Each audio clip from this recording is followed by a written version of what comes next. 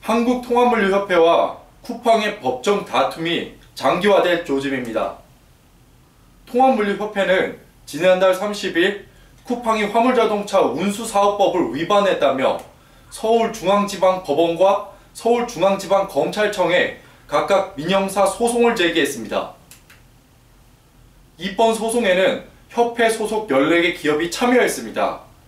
쿠팡을 고객사로 두고 있는 한진과 KG 로지스는 소송에 참여하지 않았습니다. 협회 측 변호는 법무법인 광장이, 쿠팡 측 변호는 김앤장이 맞는 것으로 알려졌습니다.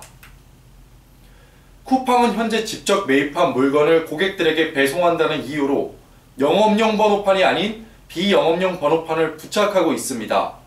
이에 대해 한국통합물류협회는 다른 사람의 요구에 따라 상품을 배송하기 때문에 사실상 유상 운송이라고 지적합니다. 협회 관계자는 화물 운송 시장 내 제한된 허가 차량으로 운행해야 하는 택배 기업과 달리 쿠팡은 허가받지 않은 차량을 통해 불법 배송을 한다고 질타했습니다.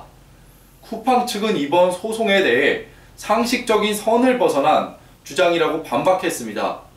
KSG 뉴스 김동민입니다.